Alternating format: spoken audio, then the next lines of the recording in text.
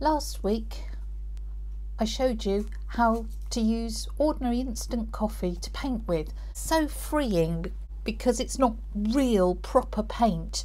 You can um, just play with it and have a lot of fun and do a monochrome. And a few people said, oh, we'd have liked to have seen a real time painting rather than a time lapse, which is what I did. Uh, you say, and I listen.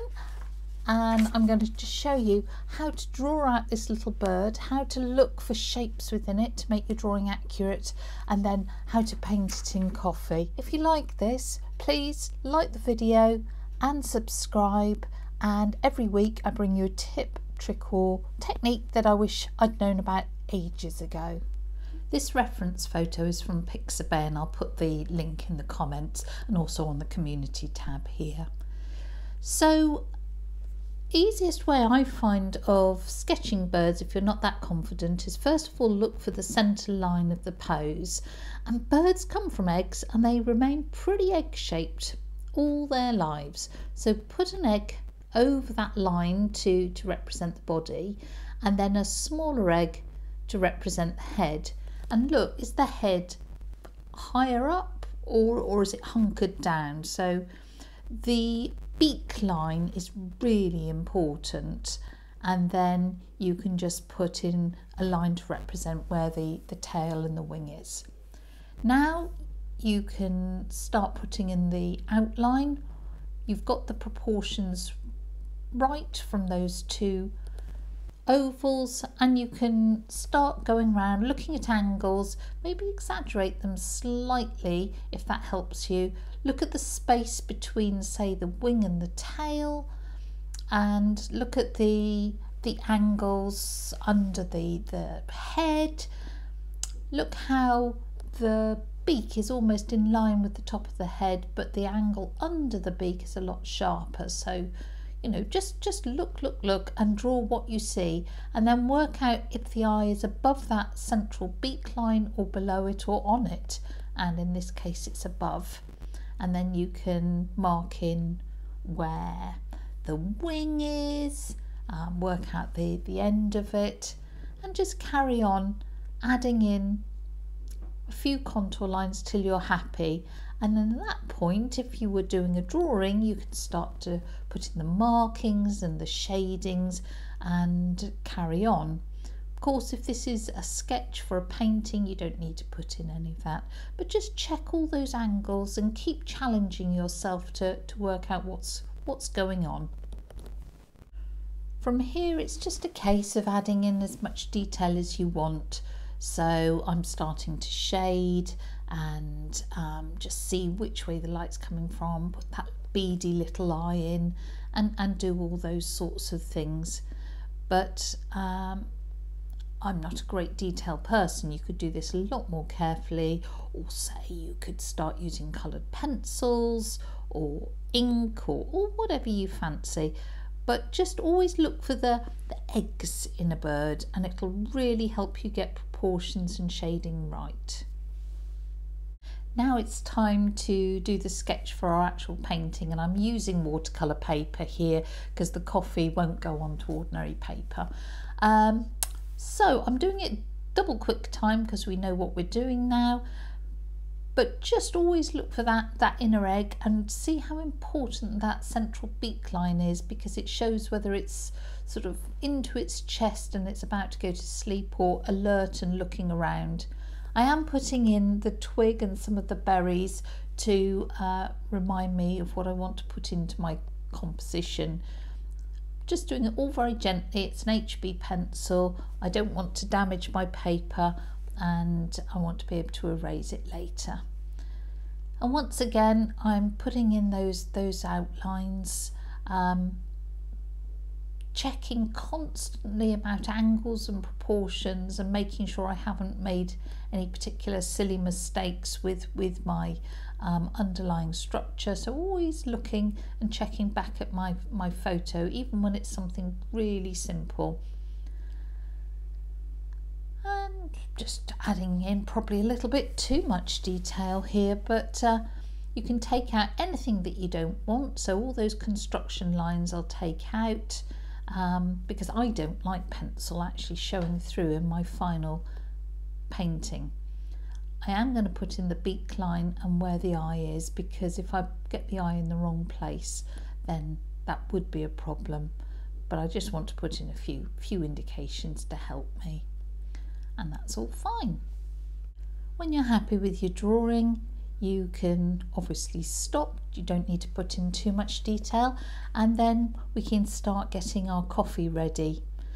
I mean the coffee is not tricky. Literally boil a kettle and use um, instant coffee. It's so much easier than using proper coffee because you've got a lot more control over the strength and the darkness. Say just use some boiling water mix up a strong a medium and a very pale wash and that should be good. Uh, it, it cools down really quickly so it's not going to damage your brush and that that'll be fine uh, here I am doing the very pale wash with hardly any coffee in it at all and as soon as that's ready we'll be set to go. It's worth just testing out your coffees to make sure that you have got the, the variation in tone that you're looking for. So here that was my lightest one, which is nice. Here's my middly one. Yep, that's a good colour too. And this is the dark one. You'll find the dark one actually dries a bit shiny and brush marks really show. So I'm using a round brush, I think it's about a size 8, it's got a lovely good point on it, so I use that pretty much throughout. And I'm starting with the eye, but I am being careful to leave little flashes of white to show the structure of the bird. And um, because coffee is quite tricky to layer, uh, it's quite hard to, to build layer on layer. I am trying to get my darks dark first time. So I'm looking at my photo, working out what's going on and just stroking the bird in the direction that the feathers and the markings go. I'm working on dry paper here because I want it all to be crisp, but as I go along, I can drop extra dark coffee into the wet wash and it'll all merge nice and softly, which is lovely. So it's wet on dry, but then wet in wet. And I'm trying to connect different bits. I don't want to do the whole head and then do the body and so that the head ends up looking stuck on. I'm just sort of developing it down, taking my time and enjoying the smell of that uh, coffee. And then uh, I'm getting the, the, the beak shape in. It's actually got a very big beak, this one. So um, I'm not actually happy with how I put the, that under beak in. Um, so I had to sort of sort that out and sort of make sure that I got, I got those angles right. But hey ho, never mind. It's often better just to go with what you've got rather than panic and try and blot it out because you just make it a mess.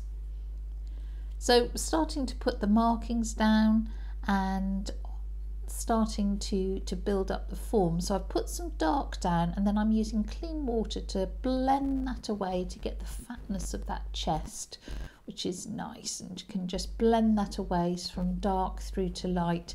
So I've got a variety of crisp marks, but then also nice soft blended marks. And it's always worth looking back at what you've done and then just dropping in extra colour if you need to.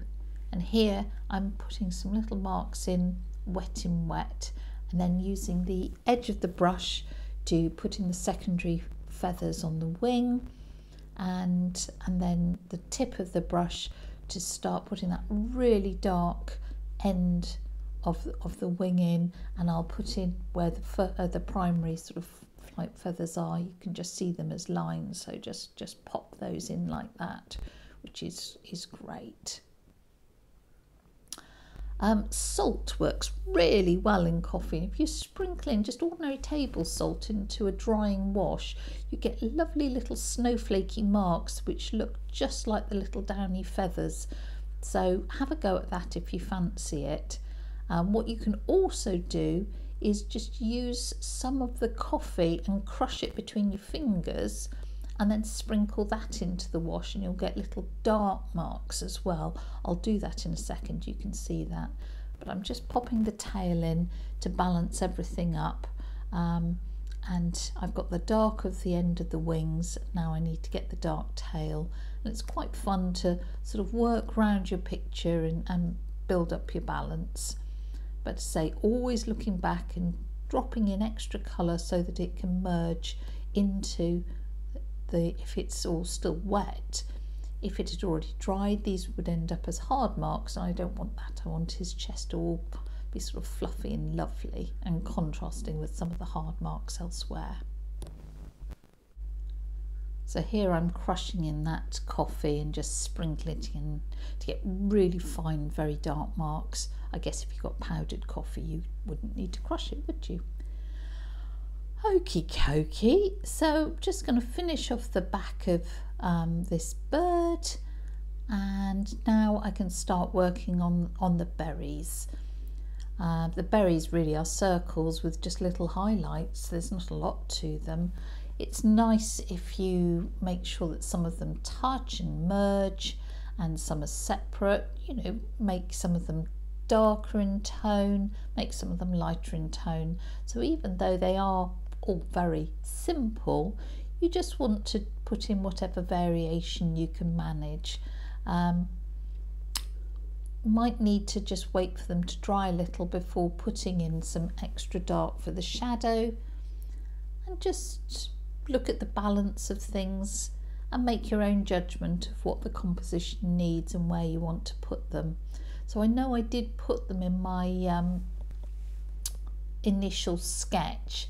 I didn't really have to do that, that at all, but I, am kind of ignoring my initial sketch uh, and I'm putting them where I fancy at this point. Uh, when all this is dry, I'm going to rub out the pencil lines so it doesn't really matter, does it? And I'm building up the berries and seeing where I want them to, to be. They're pretty abundant on this bush. I'm not quite sure what it is, so I am putting in plenty of them and now putting some behind the bird as well because I think that just balances up the composition and again you can see how I'm letting uh, those two touch and merge and keeping that one separate so that should all be fine. It's time for the branch and I thought that I would use a mapping pen so that I could get some very fine lines. Um, if you watch last week's video you'll see that uh, you can actually use a pen with the coffee and it acts almost like a coffee ink but actually I don't know why it just wasn't working. I did use the pen for masking fluid during the week so maybe it was still gunged up. I think I'd have been a lot better off just using a very thin rigger. But I persevered and I think it's okay in the end.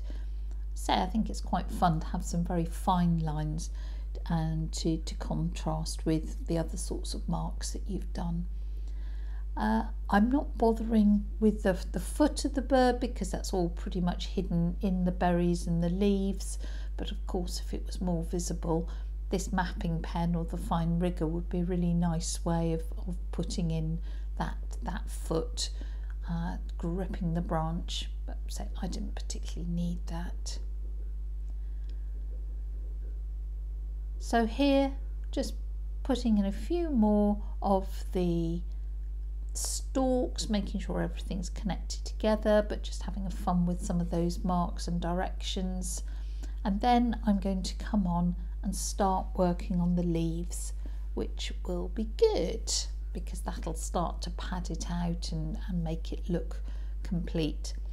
And the leaves, try and do them in a single stroke. So if you've got a brush with a decent point, you can start gently push it down onto the paper and then lift it to, to get the, the point at both ends of the leaves. What I'm going to do is actually do the leaf strokes in one stroke, but I'm going to leave a tiny gap of white and repeat that mark on the other side so that you end up with a white sort of central stem on these leaves it's quite a nice sort of simple way of doing them but just adds a little bit more interest rather than just having a solid leaf. The other thing I do to add a little bit more interest is as those leaves dry, just go back in with a bit of dark paint um, at the end so that you get some sort of tonal variation. You know, as I say, we've only got one colour here, so we've got to do as much as we can to make it as interesting as we can. I just carry on building up these leaves in no particular order. It's just the, the composition that I fancy to sort of balance things up. Um, if you're not sure and you're concerned that you're going to put too many in or not in the right place, of course you could sketch them out or or just stop and have a quick think about where you want them to go. But I'm sure your gut reactions will be right. I thought this wing was a bit short, so I am going to make it longer in a moment. And, um, you know, I'm just adding in a few more darks and a few more details because this bird's dry, so I can get some crisp details in if they've disappeared or if I need to strengthen anything, and that, that should be fine. If you need to dry an area, you can use a hairdryer on coffee. It's not going to burn or anything, so don't worry about that. So if you want to have any crisp marks and an area is wet, just make sure that it's uh, you, you dry it thoroughly. On the whole, it dries pretty quickly, but don't get caught out by the fact that thick areas of coffee are shiny and you'll think that it's still wet and in fact it's actually dry. So um, that caught me out a few times. I had to keep poking it to make sure that it really was dry. So just merging things in and, and working on the sort of final details here.